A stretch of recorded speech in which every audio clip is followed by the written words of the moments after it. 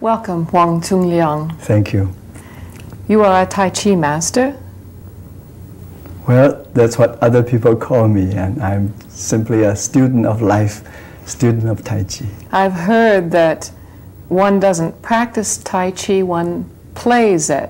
Tai well, Chi. it's, it's the way we use language. See, in Chinese language, it's more metaphoric and more poetic. And when you say practice, it has a tone in English, discipline and hard work.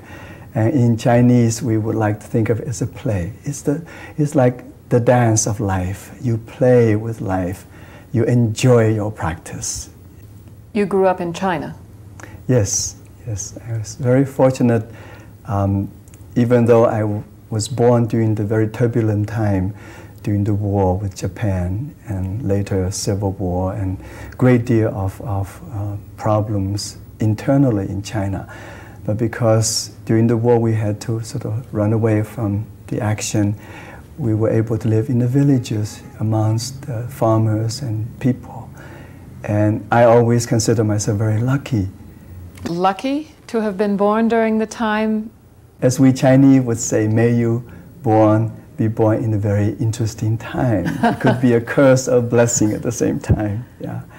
And because of the good fortune of to be in the villages, and uh, I was able to really learn from my early age uh, how the Chinese practice Tai Chi and according to the way of nature. What does Tai Chi mean? Well, Tai Chi um, is a general concept about how we learn to play with nature.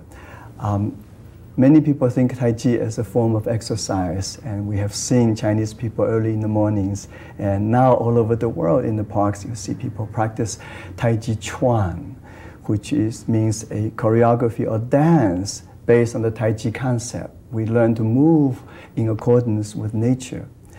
But Tai Chi is a philosophy of living and to learn to be in harmony with life.